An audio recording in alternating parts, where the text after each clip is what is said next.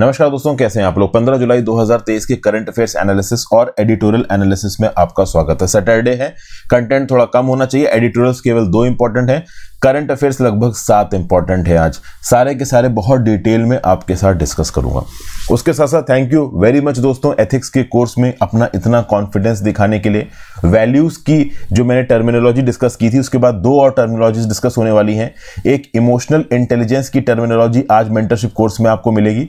उसके साथ साथ टॉलरेंस की जो टर्मिनोलॉजी है एथिक्स के अंदर जीएस पेपर फोर की, इसकी भी इंफॉर्मेशन इसकी भी वीडियो आज आपको मिल जाएगी पीडीएफ के साथ। उसके साथ साथ दोस्तों एथिक्स की आंसर राइटिंग की सीरीज़ भी जल्दी अपलोड होना शुरू हो जाएगी। मतलब एथिक्स के क्वेश्चन और उन क्वेश्चंस के आंसर्स को आपको फ्रेम कैसे करना है, वो आंसर्स फ्रेम करके मैं आपको दिखाऊँगा। उन आंसर्स को फ्रेम कैसे करना है थॉट प्रोसेस को कैसे सिंक्रोनाइज करना है, कैसे एक हेरारकी में चीज़ों को लिखना है, ये सब डिटेल में मैं जल्दी ही लेके आने वाला हूँ। तो टॉलरेंस की और इमोशनल इंटेलिजेंस की जो ओवरऑल वीडियो है एक्सप्लेनिंग दीज टर्मिनोलॉजीज वो मिल जाएगी और उसके साथ साथ आंसर राइटिंग भी जल्दी आपको मिलने वाला है। उसके साथ साथ अगर आप चाहो दोस्तों तो आप ये मेंटरशिप कोर्स चेकआउट कर सकते हो। मेरी वेबसाइट डब्ल्यू पे ये मेंटरशिप कोर्स अवेलेबल है। एप्पल एंड्रॉयड स्टोर पर भी आपको ओवरऑल ये कोर्स मतलब हर्षित द्विवेदी एजुकेशन की ऐप मिल जाएगी, उस ऐप के अंदर आप इस कोर्स को देख सकते हो और उसके साथ साथ आईओएस पे भी ऐप अवेलेबल है, हर्षित द्विवेदी एजुकेशन तो आप वहाँ पे भी इसको चेकआउट कर सकते हैं। टेलीग्राम ग्रुप ज़रूर से ज्वाइन कर लीजिए दोस्तों। Telegram group Harshit Dwivedi videos नाम से है टेलीग्राम पे। उसमें लगभग छप्पन हज़ार मेंबर्स हैं। वहाँ पे भी पीडीएफ डेली के बेसिस पे अपडेट हो जाती है फ्री ऑफ़ कॉस्ट और एप्स में भी स्टडी मटेरियल सेक्शन में मिल जाएगी। तो चलिए करंट अफेयर्स को शुरू करते हैं। India third lunar odyssey commences with perfect launch अब देखिए, चंद्रयान तीन को लेके आगे आने वाले समय में आर्टिकल ही आर्टिकल भरने वाले हैं। सॉफ्ट लैंडिंग चंद्रयान की 23 अगस्त को है। अभी के लिए जो चंद्रयान स्पेसक्राफ्ट है, वो एलिप्टिक पार्किंग ऑर्बिट में एंट्री मार चुका है। तो यहाँ पे जो रॉकेट है, चंद्रयान थ्री का लिफ्ट ऑफ़ हो रहा है। इसकी पर्टिकुलर फ़ोटो है अच्छी photo Satish Dhawan space front Harikota से 14 जुलाई यानी कल ये लॉन्च हो चुका है। ठीक है ना एलवीएम थ्री से। और उसके बाद फ़र्स्ट स्टेज ऑफ़ सेपरेशन भी यहाँ पे हो चुका है चूँकि एलेप्टिकल पार्किंग ऑर्बिट में ये पूरा का पूरा overall rover lander propulsion module पहुँच चुका है। ठीक है? अब सबसे खास बात यह है कि 2019 में भी एक सॉफ्ट लैंडिंग कराने की कोशिश की थी इसरो ने चंद्रयान टू के थ्रू। वो फेल हो चुकी है। अब तक मून के सरफेस के ऊपर सॉफ्ट लैंडिंग सक्सेसफुली तीन कंट्रीज़ करा चुकी हैं यूएस रशिया और चाइना अगर चंद्रयान थ्री सक्सेसफुल हो जाता है तो इंडिया वो चौथी कंट्री होगी। अगले 42 डेज़ चंद्रयान थ्री के लिए बहुत इंपॉर्टेंट होने वाले अब कल की डेट में मिठाइयाँ बांटी जा रही थी, लोग एक दूसरे के साथ गले मिल रहे थे। वो इसलिए थे कि लॉन्च सक्सेसफुल था। लेकिन लॉन्च सक्सेसफुल होने के बहुत चांसेस थे। यहाँ पे मेन मोमेंट तब आएगा जब सॉफ्ट लैंडिंग होगी। अभी ओवरऑल हमें सेलिब्रेट करने जैसा कुछ भी नहीं है। सेलिब्रेशन तब एक्चुअल होगा अगर तेईस अगस्त को ये Chandrayaan three successfully soft land कर जाता है किस पे? आपका मून की सरफेस पे। क्योंकि 2019 में जब ये सॉफ्ट लैंडिंग ट्राई की गई थी तो वो हार्ड लैंडिंग हो गया था वो बाहर से जाके मून की सरफेस पे लड़ गया रोवर भी तबाह हो गया लैंडर भी तबाह हो गया। तो इस बार का लैंडर विक्रम और रोवर प्रज्ञान। पिछली बार भी यही नाम थे 2019 में ये दोनों ही जा रहे हैं। ये जो इलेप्टिकल पार्किंग ऑर्बिट है ओवरऑल अर्थ के चारों तरफ़ इसकी जो क्लोजेस्ट अप्रोच है अर्थ से वो है 170 किलोमीटर और जो फारदेस्ट अप्रोच है वो है 36,500 किलोमीटर अब खास बात दोस्तों ये है, ये रहा अर्थ, ये रहा मून अभी अर्थ के चारों तरफ़ इलेप्टिकल पार्किंग ऑर्बिट में घूम रहा है ये आपका एलवीएम थ्री से निकला हुआ चंद्रयान थ्री। फिर एकदम से मून के ऊपर जो 100 किलोमीटर की ऑर्बिट है, उसमें से झटके के थ्रू ये प्रोपल्शन मॉड्यूल लेके जाएगा इस लैंडर और रोवर को। और फिर मून के चारों तरफ़ घूमेगा 100 किलोमीटर के ऑर्बिट में। तो जो प्रोपल्शन मॉड्यूल है, वो ऑर्बिट में रहने वाला है। और इस प्रोपोर्शन मॉडल के अंदर रखा हुआ है SHAPE spectropolarimetry of habitable planetary earth SHAPE याद रखिएगा, कल की डेट में यूपीएससी में किसी भी जीएस के एग्ज़ाम में आपसे पूछा जा सकता है कि व्हाट इज़ शेप तो शेप है spectropolarimetry of habitable planetary earth इसको अपने नोट्स में इनकॉर्पोरेट कर लीजिए। ये प्रोपल्शन मॉड्यूल में है और ये ओवरऑल जो लूनर ऑर्बिट है, सौ kilometre above the moon surface उसमें घूमता रहेगा और वहाँ से ये स्टडी करेगा। Spectral emissions coming from earth अब आप बोलोगे कि सर ये रहा अर्थ, ये रहा मून तो ऐसे मून के चारों तरफ़ अगर घूम रहा है तो कुछ समय तो ऐसा भी आएगा ना जब ये अर्थ के अलग होगा। तो नहीं भाई एक पोलर ऑर्बिट में है मोस्ट प्रॉब्ली ये तो ऑब्वियस ही बात है, ये रहा अर्थ ये रहा मून तो ऐसे घूम रहा होगा। तो कंटिन्यूसली ये जो शेप है ना spectropolarimetry of habitable planetary earth ये लगातार अर्थ को मॉनिटर कर पाएगा। अर्थ से आने वाले स्पेक्ट्रल एमिशंस को स्टडी करेगा। इन स्पेक्ट्रल एमिशंस के आधार पर एक ग्राफ बनाया जाएगा, जिस ग्राफ के बेसिस पे जो हैबिटेबल प्लैनेट्स हैं, वो किस प्रकार का स्पेक्ट्रल एमिशन करते हैं, इसको स्टडी किया जाएगा और फिर इस प्रकार के स्पेक्ट्रल एमिशंस को पूरे यूनिवर्स में जाएगा एक हैबिटेबल प्लेनेट ढूँढने के लिए। ठीक है भाई? तो ये ओवरऑल न्यूज़ है। अब लेट्स सी इस न्यूज़ अभी तो देखिए, मेरे हिसाब से कोई खुशी वाली बात है नहीं। खुशी वाली बात उस दिन आएगी जब सक्सेसफुली तेईस अगस्त को ओवरऑल सॉफ्ट लैंडिंग अगर सक्सेसफुल हो जाती है मून की सरफेस पे। That will definitely be a milestone for India but अगर फिर से वही हार्ड लैंडिंग हो जाती है 2019 जैसी तो इंडिया की फिर से मट्टी पलित बहुत होगी, बहुत बदनामी होगी। आगे चलते हैं। बदनामी क्या होगी? इंडिया ने एटलीस्ट कोशिश की बट हाँ लगातार अगर हमारे इस प्रकार के साइंटिफिक एक्सपेडिशन फेल होंगे तो डेफिनेटली बुरा तो लगेगा ही। अगला India France set to co develop engine तो भैया, डिफेंस कॉपरेशन इंडिया और फ्रांस के बीच में एक अलग लेवल पे पहुँच रहा है। इंडिया, यूएस के बीच में भी एक अलग लेवल पे पहुँच रहा है। तो सुनने में ये आया है कि अब इंडिया और फ्रांस डिफेंस कॉपरेशन करेंगे इन एडवांस्ड एरोनॉटिकल टेक्नोलॉजीज़। एक ज्वाइंट डेवलपमेंट किया जाएगा कॉम्बैट एयरक्राफ्ट इंजन का। अभी रिसेंटली कॉम्बैट एयरक्राफ्ट इंजन का ज्वाइंट डेवलपमेंट इंडिया और यूएस के बीच में भी हुआ है। जो जीई इलेक्ट्रिक कंपनी है यूएस की, वो ओवरऑल इंजन प्रोवाइड करेगी एलसीए मार्क टू तेजस के लिए, जो कि हमारा लाइट कॉम्बैट एयरक्राफ्ट है। तो इंडिया फ्रांस के बीच में ज्वाइंट डेवलपमेंट होगा कॉमेट एयरक्राफ्ट इंजन का।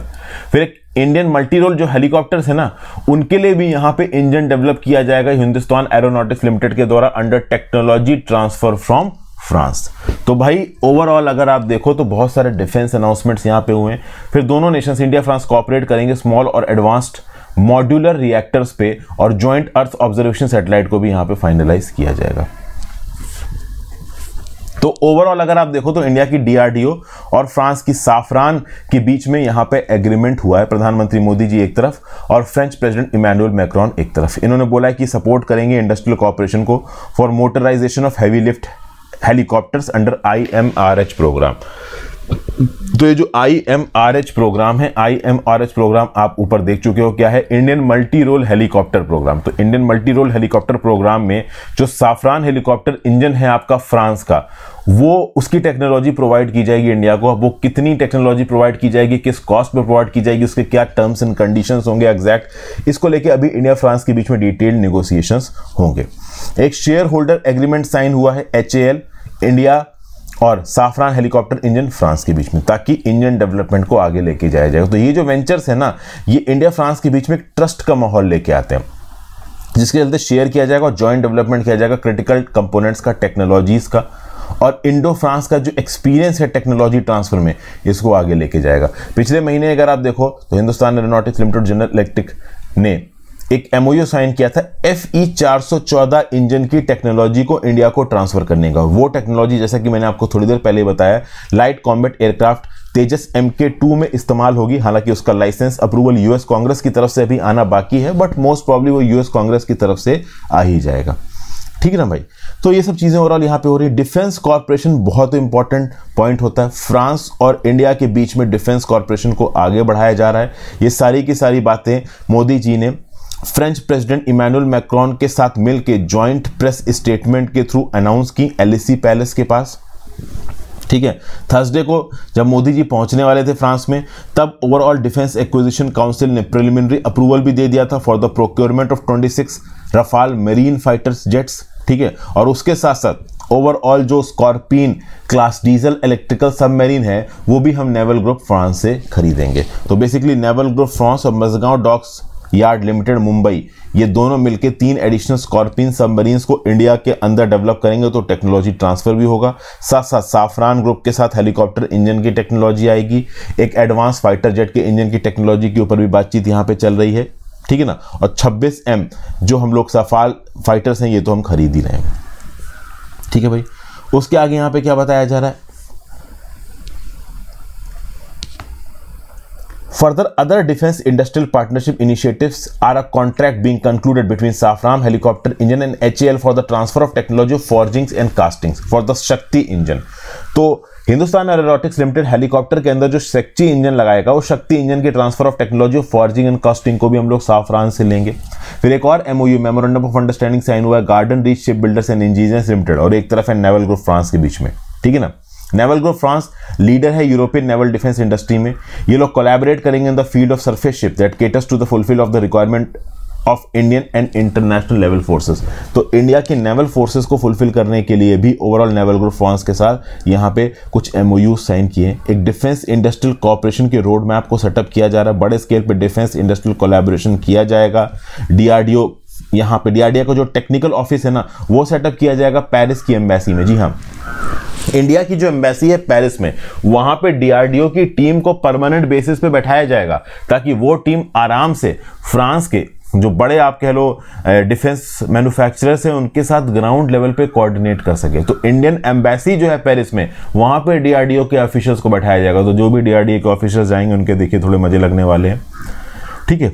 अब यहाँ पे बास्तिल डे परेड भी हुई और बास्तिल डे परेड में सलामी दी गई फ्रेंच प्रेसिडेंट इमैनुअल मैक्रॉन साहब को और हमारे मोदी जी को। तो अगर आप देखो तो chief guest Bastille Day parade में कौन थे? मोदी जी थे। और उस समय पे इंडियन रफाल जेट्स भी वहाँ से उड़ के निकल रहे थे। तो ये सारी चीज़ें हो रही थी। अब ओवरऑल दोस्तों, बैस्टिल डे की बात हुई है तो बैस्टिल डे आपको पता होना चाहिए, ये फ्रेंच रेवोल्यूशन का एक पार्ट था। ठीक है, बैस्टिल डे सेलिब्रेशन होते हैं चौदह जुलाई को।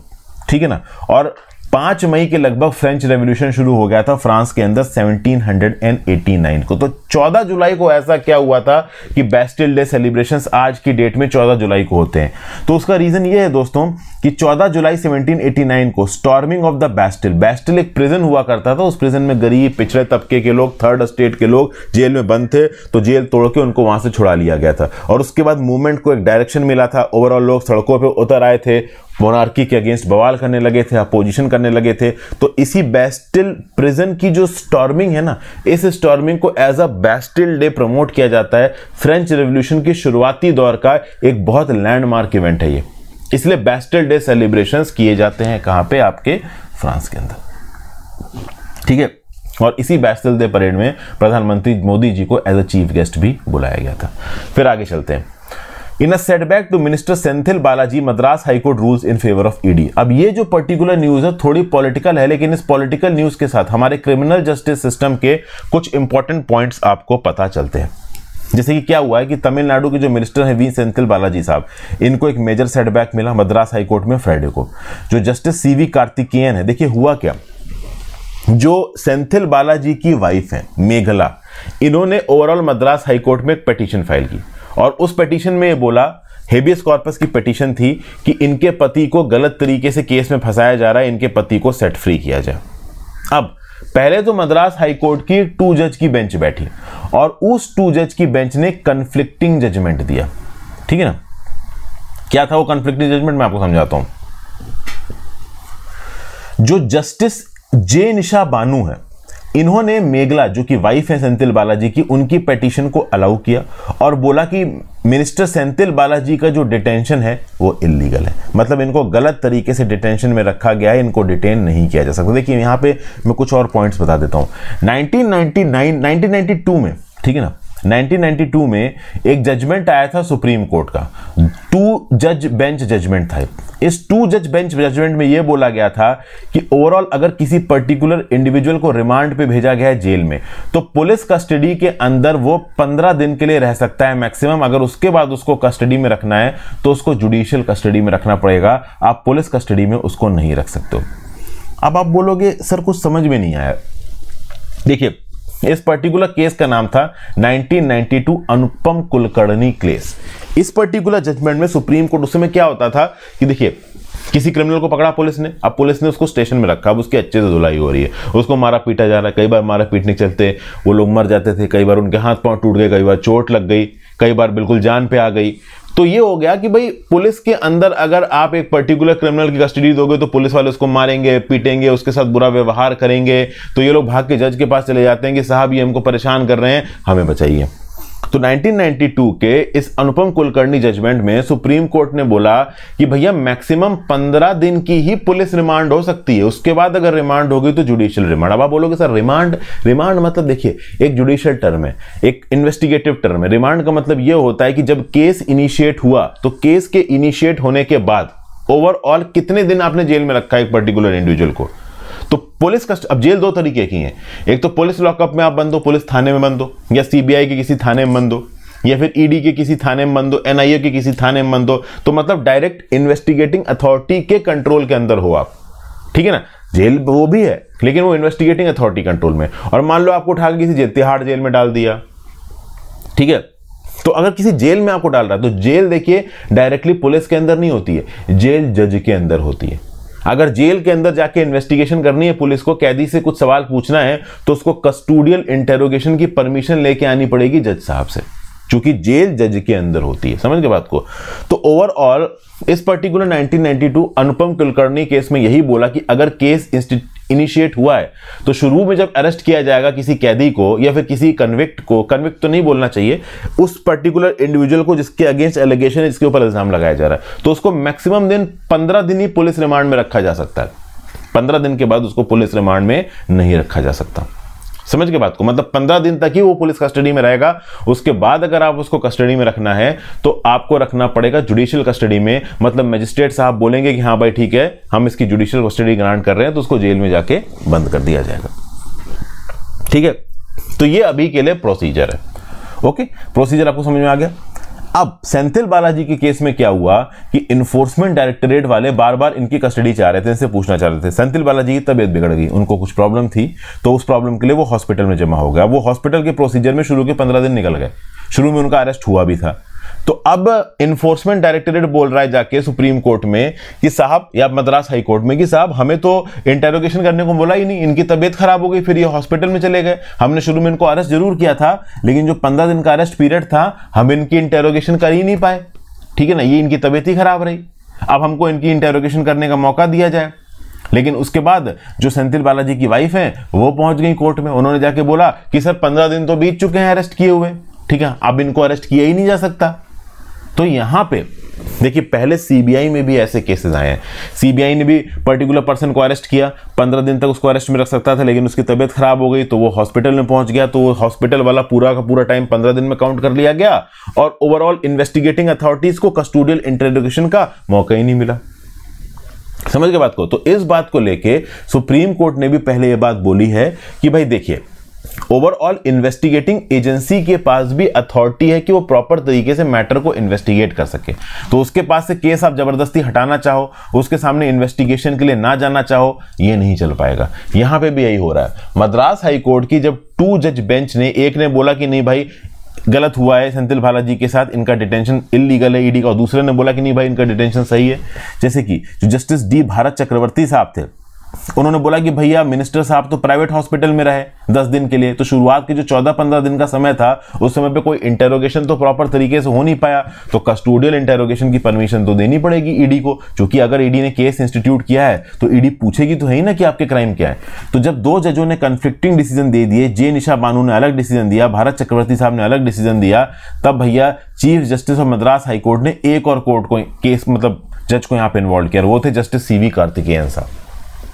जस्टिस सी वी कार्तिकेयन साहब ने बोला कि भाई, ये जो हैबियस कार्पस पटिशन है, ये मेंटेनेबल नहीं है। यहाँ पे इन्वेस्टिगेटिंग अथॉरिटी के पास ये राइट है कि वो ओवरऑल इंटेरोगेट तो कर ही सकते हैं सेंथिल बालाजी को। जब तक सेंथिल बालाजी की तबीयत खराब थी तब तक हम समझ सकते हैं कि भाई उनको हॉस्पिटल में रहने की ज़रूरत है। अब चूँकि उनकी तबीयत सही है और शुरू के पंद्रह दिन का पूरा पीरियड हो नहीं पाया कस्टोडियल इंटेरोगेशन के लिए तो टेक्निकली उन्हें इंटेरोगेट करना ज़रूरी हो जाता है। तो अब केस फिर से ओवरऑल तीन जज के सामने आएगा और इन तीन जज बताएँगे कि हाँ भाई किस दिन से ओवरऑल आपकी ये पंद्रह दिन वाली लिमिट चालू होगी और किस हिसाब से यहाँ पे आप ओवरऑल इन्वेस्टिगेशन कर सकते हो, पूछ सकते हो। तो ये जो एलिगेशन जिन इंडिविजुअल्स के अगेंस्ट लगाए जाते हैं ना, वो कभी कभी लीगल लूप होल्स का फ़ायदा उठाते हैं। यहाँ पे सबसे बड़ा लीगल लूप होल क्या था? कि भाई, सुप्रीम कोर्ट ने उन्नीस सौ बानवे के जजमेंट में बोला है, कुलकर्णी जजमेंट में, कि भैया अरेस्ट के पंद्रह दिन तक ही मैक्सिमम पुलिस रिमांड में रखा जा सकता है। लेकिन इस पंद्रह दिन के अंदर जब कैदी की तबियत खराब हो जाए, उसको हॉस्पिटल वगैरह में एडमिट कराना पड़े तो फिर वो जो हॉस्पिटल के एडमिट का टाइम पीरियड है, उसको भी पंद्रह दिन में जोड़ के आप बोलो कि नहीं भाई अब पुलिस कस्टडी नहीं हो सकती जुडिशियल कस्टडी होगी या बेली होगी, वो लॉजिक ठीक नहीं है। इन्वेस्टिगेटिंग अथॉरिटीज के पास भी पूरा राइट होना चाहिए, पूरा टाइम होना चाहिए कि वो सही से इन्वेस्टिगेशन कर सकें, सही से सवाल जवाब कर सकें, सही से ओवरऑल गलतियों को पॉइंट आउट कर सके। फिर भैया इंडियन कंटिजेंट मार्क कर रही है पेरिस में सारे जहाँ से अच्छा की ट्यून पे। तो भैया, जो स्ट्रेंस है, सारे जहाँ से अच्छा शैम्प डी एलिस फ्राइडे को 242 मेंबर की इंडियन मिलिट्री कंटिजेंट फ्रांस के बेस्टिल डे परेड में मार्च करी थी। प्रधानमंत्री मोदी जी और फ्रेंच प्रेसिडेंट मैक्रॉन साहब इस पर्टिकुलर इवेंट को देख रहे थे। मैक्रॉन साहब ने इंडिया की यहाँ पे बड़ी तारीफ़ की। मैक्रॉन साहब ने बोला कि इंडिया जाइंट है वर्ल्ड स्ट्रीम सॉरी दोस्तों, खाना ज़्यादा खा रखा है। फिर ओवरऑल जो मार्चिंग कंटिजेंट थी जो बैंड था, इसका हिस्टोरिकल कनेक्शन ही बताया गया फ्रांस से। हिस्टोरिकल कनेक्शन यहाँ पे क्यों बताया जा रहा था? क्योंकि जो मिलिट्री कंटिजेंट्स यहाँ पे आए हैं they are one of the oldest और ये मिलिट्री कंटिजेंट ने कहीं ना कहीं वर्ल्ड वॉर वन और वर्ल्ड वॉर टू में भी लड़ाई की। जैसे फॉर एग्ज़ाम्पल इंडियन आर्मी का जो कंटिजेंट था अड़सठ लोगों का, उसमें से पंजाब रेजिमेंट के भी मेंबर्स थे। ठीक है? राजपूताना राइफल्स के भी मेंबर्स थे और पंजाब रेजिमेंट और राजपूताना राइफल्स अपने आप में बहुत पुरानी है। पंजाब रेजिमेंट के ट्रूप्स ने वर्ल्ड वॉर में लड़ाई की थी। ठीक है ना? फ़र्स्ट वर्ल्ड वॉर में they were awarded 18 battle and theatre honours तो पंजाब रेजिमेंट के लोग जब फ़र्स्ट वर्ल्ड वॉर में लड़े थे तो उनके सोल्जर्स को कुछ ब्रेवरी के अवार्ड्स भी दिए गए थे। वर्ल्ड वॉर के ब्लडिएस्ट बैटल में इंडियन सोल्जर्स जाके लड़े हैं। पंजाब रेजिमेंट और राजपूताना राइफल्स के सोल्जर्स जाके लड़े हैं। तो आज की डेट में पंजाब रेजिमेंट और राजपूताना राइफल्स के सोल्जर्स जाके मार्च कर रहे हैं। फ्रांस के अंदर जो बैस्टल डे परेड हो रही है उसमें। तो ओवरऑल इस पर्टिकुलर इवेंट का ना एक कह लीजिए हिस्टोरिकल सिग्निफिकेंस है। उसके साथ साथ यहाँ पे एक और न्यूज़ है कि प्रधानमंत्री मोदी जी को कन्फर किया गया हाईएस्ट अवार्ड ऑफ़ फ्रांस तो Narendra Modi ji became the first Indian prime minister to confer the Grand Cross of the Legion of Honour ये फ्रांस का हाईएस्ट सिविलियन और मिलिट्री ऑनर जिस प्रकार से इंडिया के अंदर भारत रत्न है, वहाँ पे ग्रैंड क्रॉस है। ओके? okay? तो मोदी जी को ये ऑनर मिला है एलिसी पैलेस में। दुनिया भर के बहुत से वर्ल्ड लीडर्स को मिल चुका है। जैसे साउथ अफ्रीका के प्रेसिडेंट नेल्सन मंडेला को मिला है। Former general chancellor Angela Merkel को मिला है। और अब यहाँ पे मोदी जी को मिला है। देखिए, यहाँ पे ओवरऑल अवार्ड मोदी जी का नहीं है। अवार्ड एक्चुअली में इंडिया का है। मोदी जी तो इंडिया को रिप्रेजेंट कर रहे हैं इंटरनेशनल स्टेज पे। समझ गए? तो ये अपने आप में एक अच्छी खबर है इंडिया के लिए। ओवरऑल फ्रांस में इंडिया को इतनी इज़्ज़त मिल रही जब इंडियन प्राइम मिनिस्टर यूएस जाते हैं, वहाँ पे हमें इतनी इज़्ज़त मिलती है। तो ये अपने आप में एक गर्व की बात तो है फिर अगला data protection bill poses severe restrictions to R T R T I act N C P R I government देखिए, ये अच्छा आर्टिकल है एक अच्छी न्यूज़ है। जो अपकमिंग डाटा प्रोटेक्शन बिल है ना, इसका नाम है digital personal data protection bill ठीक है ना? इसको कैबिनेट ने क्लियरेंस दे दिए पार्लियामेंट में अप्रूव किया जाएगा, वहाँ पे पास किया जाएगा। अगर ये लॉ बन जाता है तो इसके अंदर एक प्रॉब्लमेटिक फैक्ट बताया जा रहा है। वैसे तो इसको बहुत सारे एंगल से क्रिटिसाइज किया जा रहा है। जो सबसे बड़ा इसमें प्रॉब्लमेटिक फैक्ट बताया जा रहा है, वो है amendment of right to information act 2005 कई बार दोस्तों अगर आप आरटीआई वगैरह इस्तेमाल करते हो तो आप देखोगे, आप किसी डिपार्टमेंट में आरटीआई मारो, और वो आरटीआई किसी एक पर्टिकुलर इंडिविजुअल से या गवर्नमेंट सर्वेंट से रिलेटेड है। तो बहुत बार देखोगे कि वो पर्टिकुलर डिपार्टमेंट जवाब में section eight clause one sub clause J of the 2005 RTI law को कोट करते हुए बोलेगा कि जो इंफॉर्मेशन आपने मांगी है, वो एक पर्सनल इंफॉर्मेशन है, उसका पब्लिक इंटरेस्ट से कोई लेना देना नहीं है। तो चूँकि उस पर्टिकुलर इंफॉर्मेशन का पब्लिक इंटरेस्ट से कोई लेना देना नहीं है तो हम आपको वो इंफॉर्मेशन प्रोवाइड नहीं करेंगे। तो ये एक particular section eight clause one sub clause J है। लेकिन section eight clause one sub clause J 2005 RTI में साफ़ साफ़ लिखा है कि अगर वो इंफॉर्मेशन पब्लिक इंटरेस्ट से रिलेटेड है तो फिर वो इंफॉर्मेशन आपको डिस्क्लोज करनी पड़ेगी। ठीक है? तो इस सेक्शन में लिखा है कि personal information can not be disclose under the RTI act which has no relationship to any public activity और इंटरेस्ट और which would cause unwarranted invasion of the privacy of the individual the larger public interest justifies the disclosure of such information तो मतलब अगर आप किसी individual की personal information भी मांग रहे हो और वो पर्सनल इंफॉर्मेशन पब्लिक इंटरेस्ट को जस्टिफाई करती है लार्जर पब्लिक इंटरेस्ट को तो उस केस में भैया वो पब्लिक आपको वो इंफॉर्मेशन प्रोवाइड करनी पड़ेगी। लेकिन अभी का जो डाटा प्रोटेक्शन बिल है ना, वो इस पब्लिक इंटरेस्ट वाले क्लॉज को थोड़ा नलीफाई कर देगा, थोड़ा मेल्ट डाउन कर देगा। तो ये जो नया आपका पब्लिक डाटा प्रोटेक्शन बिल निकल के आ रहा है digital data digital personal data protection bill ये digital personal data protection bill overall कमज़ोर कर देगा section eight clause one sub clause J RTI act 2005 को। क्योंकि यहाँ पे ओवरऑल अगर किसी इंडिविजुअल के बारे में कोई प्राइवेट इन्फॉर्मेशन पूछी जाती है, वो प्राइवेट इन्फॉर्मेशन अगर पब्लिक इंटरेस्ट से भी रिलेट करेगी तो भी ओवरऑल इस digital personal data protection bill का जो एसेंस है, वो ये बोलता है कि पब्लिक इंटरेस्ट में भी प्राइवेट इन्फॉर्मेशन डिस्क्लोज नहीं की जाएगी। कई बार ऐसा होता है दोस्तों कि वो प्राइवेट इन्फॉर्मेशन होती है किसी गवर्नमेंट एम्प्लॉय के रिस्पेक्ट में है अब वो किसी गवर्नमेंट एम्प्लॉय के रिस्पेक्ट में तो हो सकता है उसमें गवर्नमेंट की कोई खामी निकल आए। तो गवर्नमेंट अपनी अकाउंटेबिलिटी को कम करने के लिए ये section eight clause one sub clause J में जो पब्लिक इंटरेस्ट का एक्सेप्शन है, इसको कमज़ोर कर रही है। कुछ इस प्रकार के इल्ज़ाम यहाँ पे लगाए जा रहे हैं। ठीक है? तो ये सब बातें और यहाँ पे बोली गई।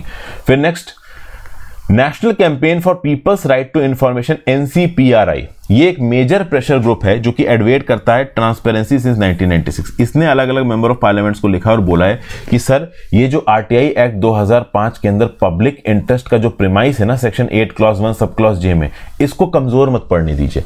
अगर पब्लिक इंटरेस्ट वाला एलिमेंट आपने हटा दिया तो टेक्निकली पब्लिक इंटरेस्ट के आधार पर भी पर्सनल डाटा पाना मुश्किल हो जाएगा। ये अपने आप में राइट टू इंफॉर्मेशन एक्ट को कमज़ोर कर देगा। आपकी इसके बारे में क्या राय है दोस्तों? नीचे कमेंट बॉक्स में बताओ। फिर एडिटोरियल पे आ जाते हैं। वर्चुअल समिट वर्चुअल साइलेंस यहाँ पे क्या हो रहा है? तो भैया मीडिया ब्रीफिंग हुई चार जुलाई को और इंडिया के जो फॉरेन सेक्रेटरी है, विनय क्वात्रा साहब, उन्होंने ये बोला कि नहीं भाई शांघाई कॉपरेशन ऑर्गेनाइजेशन को भले हमने वर्चुअली हेल्ड किया है बट इस वर्चुअली हेल्ड करने का मतलब ये नहीं है कि हम एससीओ समिट के ऑब्जेक्टिव्स को डाइल्यूट करना चाहते हैं या एससीओ में हमारा कोई बहुत खासा इंटरेस्ट नहीं है या फिर एससीओ को हम इंपॉर्टेंट नहीं समझते हैं। सब लोगों का ये बोलना है कि एससीओ की जो मीटिंग थी, उसको आप फ़िज़िकल मोड में कंडक्ट करवाते हैं। अगर फ़िज़िकल मोड में नहीं तो कम से कम हाइब्रिड मोड में तो कंडक्ट करवाते हैं। यहाँ पे अपनी प्रेसिडेंसी के समय पे एससीओ की समिट को वर्चुअल मोड में कंडक्ट करवा के इंडिया ने एससीओ की इंपॉर्टेंस को कम कर दिया। कुछ इस प्रकार के इल्ज़ाम इंडिया के ऊपर लगाए गए। इनफैक्ट मीडिया पर्सन ने यहाँ पे विनय कात्रा जी से सवाल पूछे। चाइना भी यहाँ पे बहुत ज़्यादा फ्रस्ट्रेटेड है इंडिया से चाइना की धाक है एससीओ के अंदर। और एससीओ के अंदर चाइना की धाक को कम करने में इंडिया कोई कसर नहीं छोड़ रहा है। तो चाइना शायद अब ये मतलब चाइना की जो ग्लोबल एक्सपर्ट्स हैं, वो ये बातचीत कर रहे हैं कि हाँ भाई, इंडिया को एससीओ का मेंबर नहीं बनाना चाहिए था, वो कुछ दिन पहले न्यूज़ वायरल हो रही थी। अब देखिए, क्या बताया यहाँ पे क्वातर साहब ने क्वातर साहब ने बोला है कि इंडिया एससीओ को इंपॉर्टेंस देता है। पॉलिटिकल इकोनॉमिक और जो भी कल्चरल इनिशिएटिव्स है इंडिया के अंदर, उसकी 134 मीटिंग्स और इवेंट्स एससीओ की प्रेसिडेंसी के साथ जुड़ी गई हैं। एससीओ की प्रेसिडेंसी को इंडिया बहुत इंपॉर्टेंस दे रहा है। ठीक है ना? वो अलग बात है कि हम एस की समिट को फ़िज़िकल मोड में नहीं कर पाए हाइब्रिड मोड में नहीं कर पाए, लेकिन कहीं से भी ये इस बात को नहीं दर्शाता है कि इंडिया का एससीओ के साथ कोई स्ट्रेटेजिक कंसिडरेशन नहीं है। देखिए, ये बात बिल्कुल सच है। कि एस के एम्बिट के अंदर कुछ ऐसे इनिशिएटिव्स को ज़ोर दिया जा रहा है जो कि एंटी इंडिया है। For example belt and road initiative belt and road initiative का एक सब पार्ट है चाइना पाकिस्तान इकोनॉमिक कॉरिडोर और ऑब्वियसली बात है एस के समिट को इस्तेमाल करके एस को प्लेटफॉर्म को इस्तेमाल करके ओवरऑल इस particular China Pakistan economic corridor को पाकिस्तान चाइना बढ़ाने की कोशिश करेंगे। ठीक है? No doubt Shanghai Cooperation Organisation के अंदर चाइना की धाक है। चाइना यहाँ पे इकोनॉमिकली बहुत ज़्यादा स्ट्रांग है। और चाइना ने 2020 के बाद लाइन ऑफ़ एक्चुअल कंट्रोल पे जो एक्शंस किए हैं इंटरनेशनल ऑर्डर को जिस प्रकार से सबवर्ट किया है, कहीं ना कहीं इंडिया का जो इंटरेस्ट है एस के अंदर और इंडिया का जो बेनिफिट है एससीओ से, इस बात को लेके जो इंडियन पॉलिसी मेकर्स हैं, वो थोड़ा मायूस ज़रूर हुए होंगे। But at the same point of time India terrorism और कनेक्टिविटी के रिस्पेक्ट में एससीओ की इंपॉर्टेंस को भी समझता है। एस का मेंबर बन के हम अफ़गानिस्तान के साथ बेटर तरीके से कोऑर्डिनेट कर सकते हैं, ताकि अफ़गानिस्तान की ज़मीन को एंटी इंडिया मेजर्स के लिए इस्तेमाल ना किया जाए। एस की मेंबरशिप के साथ हम सेंट्रल एशियन मेंबर्स जैसे कि Kazakhstan, Kyrgyzstan, Tajikistan, Uzbekistan, Turkmenistan, इनके साथ प्रॉपर तरीके से इंगेज कर सकते हैं। थ्रू ईरान अब तो ईरान भी मेंबर बनने वाला है SCO का। तो ओवरऑल जो कनेक्टिविटी है और overall international north south transport corridor की जो सक्सेस है, वो भी बहुत हद तक इंडिया की एस मेंबरशिप के ऊपर डिपेंड करती है। तो no doubt when it comes to terrorism and when it comes to connectivity S has a big and huge importance for India but at the same point of time ये भी सच है कि India कुछ हद तक आइसोलेटेड फील करता है SCO के अंदर, जो कि एस के अंदर पाकिस्तान चाइना, और चाइना की बहुत हद तक चलती है रशिया के ऊपर, और चाइना से इकोनॉमिकली डलती हैं सेंट्रल एशियन कंट्रीज़ तो कोई भी इंडिया के बहुत ज़्यादा प्रो में नहीं जाएगा, बहुत ज़्यादा फेवर में नहीं जाएगा चाइना से लड़ाई करके। समझ गए? जो फ्लैगशिप प्रोडक्ट है चाइना पाकिस्तान इकोनॉमिक कॉरिडोर ये बोला जाता है कि इंडिया की सोवरेनिटी को वॉलेट करता है और इसको भी कहीं ना कहीं प्रमोट किया जा रहा है एससीओ के एम्बिट के अंदर। तो ऑब्वियस सी बात है एससीओ की इस प्रकार की इफेक्टिविटी और इंगेजमेंट्स को इंडिया कमज़ोर करने की कोशिश करेगा और चाइना को ये बात पसंद नहीं आएगी।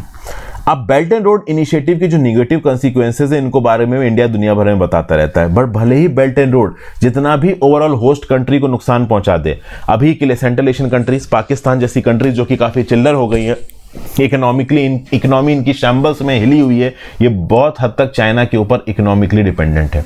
और इसीलिए एस के जो बाकी मेंबर्स है ना, और बहुत हद तक रशिया ये चाइना के ऊपर इकोनॉमिक डिपेंडेंस है इनकी, इसलिए बहुत ज़्यादा वो प्रो इंडिया के फेवर में बोलेंगे नहीं, थोड़ा शांत रहेंगे। तो बेटर ये रहेगा कि टेररिज्म के मुद्दे से लड़ने के लिए कनेक्टिविटी के मुद्दे को सॉर्ट आउट करने के लिए ट्रांसपोर्ट लॉजिस्टिक्स के मुद्दे को सॉर्ट आउट करने के लिए एस के अंदर हम अपनी एक बेयर मिनिमम प्रेजेंस तो देखिए रखें।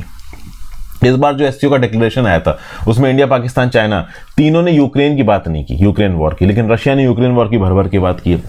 रशियन लीडरशिप ने एससीओ की बाबी मेंबर कंट्रीज़ का थैंक यू भी बोला कि ठीक है भाई रशिया यूक्रेन वॉर को लेके आप रशिया के अगेंस्ट बहुत ज़्यादा कुछ नहीं बोल रहे। रशिया बार बार यूक्रेन वॉर को वेस्टर्न प्रोपोगेंडा की तरह दिखाने की कोशिश करता है। तो बेसिकली ये जो वर्चुअल समिट हुई, इससे एक चीज़ हो गई कि मोदी जी ना पाकिस्तान के शहबाज शरीफ से मिले, ना ही जी जिनपिंग के साथ मिले। तो ओवरऑल ऑथर का यह बोलना है कि अगर एस के एम्बिट के अंदर इंडिया प्रॉपर तरीके से इंगेज नहीं करता है तो यूरेशिया के रीजन में यूरोप और एशिया का जो कॉन्फ्लुएंस वाला रीजन है, इस पर्टिकुलर रीजन में हो सकता है कि चाइना इंडिया की इंपॉर्टेंस को थोड़ा कम करने में सक्सेसफुल हो जाए। तो ये बात यहाँ पे बताई जा रही ठीक है भाई? अगले आर्टिकल में चल लेते हैं। भाई, ये आर्टिकल है आपका European parliament resolution misdiagnosis the Manipur issue भाई इंटरकनेक्टेड वर्ल्ड है आज का दुनिया का। कई बार क्या होता है कि यूएस के अंदर प्रॉब्लम्स होती हैं, जैसे कैपिटल हिल पे अटैक हो गया था। यूएस के अंदर ओवरऑल जो ब्लैक सिटीजन है, उनके ऊपर यूएस की पुलिस अटैक कर देती है रेशियल अटैक्स होते हैं। तो इस बात को लेकर इंडिया में एक चिंता की बात होती है। इंडिया में लोग बातचीत करते हैं कि भाई वेस्टर्न कंट्रीज़ में गलत हो रहा है, थोड़ा चीज़ें सही होनी चाहिए। तो अगर वेस्टर्न कंट्रीज़ और यूरोपियन यूनियन की पार्लियामेंट इंडिया के अंदर होने वाले मणिपुर वायलेंस के ऊपर उंगली उठा रहे हैं तो इंडिया को यहाँ पे एक रिस्पॉन्सिबल जवाब देना चाहिए। ये नहीं बोलना चाहिए कि भाई एंटी ये कॉलोनियल माइंडसेट को डिस्प्ले कर रहे हैं क्योंकि जब ऑस्ट्रेलिया में हिंदू टेम्पल्स के ऊपर अटैक होता है। ठीक है ना जब यूएस में एंटी इमिग्रेंट वायलेंस होता है तो उस समय पे इंडिया डेफिनेटली कंसर्न हो जाता है। तो आज की डेट में मणिपुर में गड़बड़ हो रही है तो यूरोपियन यूनियन की पार्लियामेंट अगर कंसर्न हो रही है तो इंडिया को इतना घबराने की या चीज़ों को रेजिस्ट करने की ज़रूरत नहीं है। एक तो ये बात बोली जा रही है। दूसरा यूरोपियन पार्लियामेंट की गलती को यहाँ पे पॉइंट आउट कर रहा है ऑथर ऑथर बोल रहा है कि यूरोपियन पार्लियामेंट के बहुत सारे मेंबर्स इस पर्टिकुलर इशू को माइनॉरिटी सब्जुगेशन के साथ जोड़ रहे हैं। क्या हुआ है कि इस मणिपुर वाले वायलेंस में बहुत सारे क्रिश्चियन चर्चेस को डिस्ट्रॉय किया गया क्रिश्चियन कम्युनिटी को नुकसान पहुँचा। बात यह है कि जो नागा कम्युनिटी उसमें बहुत सारे लोग क्रिश्चियनिटी को अडॉप्ट कर चुके हैं। लेकिन ये क्रिश्चियनिटी वर्सेज हिंदुइज्म वाला मुद्दा ही नहीं है। जैसा मुद्दा यहाँ पे यूरोपियन यूनियन पार्लियामेंट के कुछ मेंबर्स दिखाने की कोशिश कर रहे हैं। यहाँ तो हुआ ये कोमीती कम्युनिटी जो कि भाई वैली में रहती है और हिल कम्युनिटी के कुकीज वो लोग, इनके बीच में काम नहीं बन पाया सेट नहीं बैठ पाया। और इनके जो मिलिटेंट एलिमेंट्स थे, वो आपस में लड़ने लग गए। उसके बाद पूरा का पूरा रायता फैल गया। और सुप्रीम कोर्ट के chief justice D Y Chandrachud साहब ने पॉइंट आउट भी किया था कि इस पर्टिकुलर इशू की शुरुआत हुई मणिपुर हाई कोर्ट की सिंगल जज बेंच के इस डिसीज़न से कि मीती कम्युनिटी को शेड्यूल ट्राइब का मेंबर बना लो। तो कुल मिला के यहाँ पे जो ओरिजिन है इस प्रॉब्लम का, वो ओरिजिन कुछ अलग है। यहाँ पे ट्राइबल आइडेंटिटीज के बेसिस पे लड़ाई हो रही है। और इन ट्राइबल आइडेंटिटीज को जो प्रेजेंट रूलिंग पार्टी है मणिपुर की, वो सिंक्रोनाइज नहीं कर पा रही है। तो ये जो यूरोपियन यूनियन पार्लियामेंट के जो मेंबर्स बोल रहे हैं ना, कि ये हिंदू वर्सेस क्रिश्चियनिटी का मुद्दा है, रिलीजियस माइनॉरिटीज को सब्जुगेट किया जा रहा है, ये बहुत ही बकवास टाइप की कर रहे हैं यूरोपियन यूनियन पार्लियामेंट वाले। अगर वो सच में इस पर्टिकुलर मुद्दे को क्रिटिसाइज करना चाहते हैं तो कम से कम सही बेसिस पे क्रिटिसाइज करें।